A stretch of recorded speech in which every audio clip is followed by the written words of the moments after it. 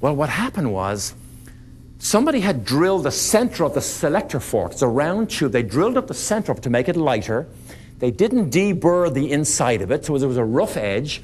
It, it uh, caused a vibration, which caused a crack, which caused a failure. But there was about two inches still sticking out. So I'm thinking, if I just get a, a vice grips wrench around this thing and just pull it into any gear, I, it's a V12 Jag engine. It's got so much torque and horsepower. I can drive it back to the pit lane and they can fix it properly.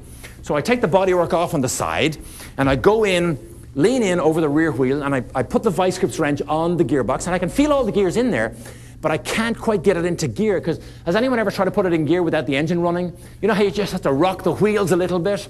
Well, I couldn't get in and rock the wheels at the same time.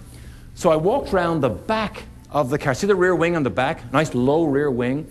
I walk around the back of the rear wing and I lean over like this, and now I can get on the gearbox, and I, am on the selector for it, and, and, and the only way I can get this thing to start to rock back and forth is I start doing these pelvic thrusts.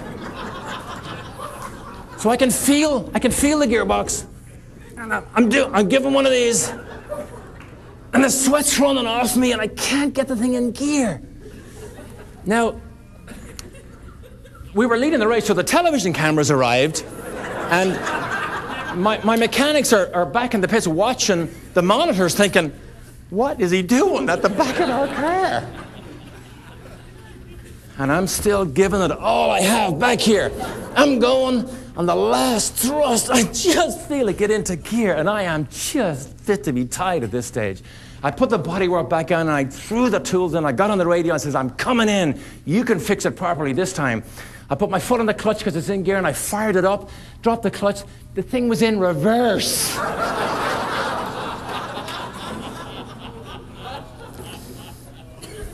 I had to start all over again.